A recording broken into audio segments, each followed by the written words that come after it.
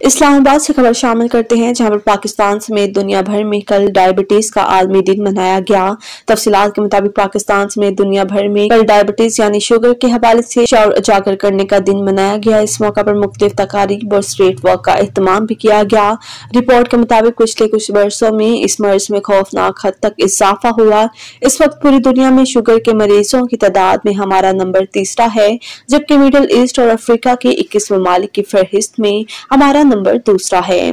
पाकिस्तान में शुगर के मरीजों की तादाद तीन करोड़ तीस लाख से तजावज कर चुकी है। डायबिटीज़ यानी शुगर ऐसा मर्ज है जो मुल्क भर में बदतरेज बढ़ता जा रहा है।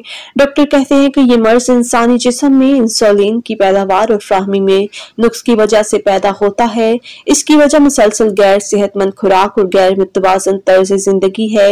इस मर्ज की अलामत में बेहद भूख और प्यास लगना, ज़्यादा पेशाब आना, वज़न का तेज़ी से गिरना, ज़्यादा थकन महसूस करना शामिल हैं। माहरीन सेहत के मुताबिक डायबिटीज़ से बचाव सिर्फ़ और सिर्फ़ परहेज और सेहतमंद तर्ज ज़िंदगी से ही मुमकिन है। डायबिटीज़ के मरीजों के लिए परहेज के साथ वर्जिश और निगहदाश्त ज़रूरी है।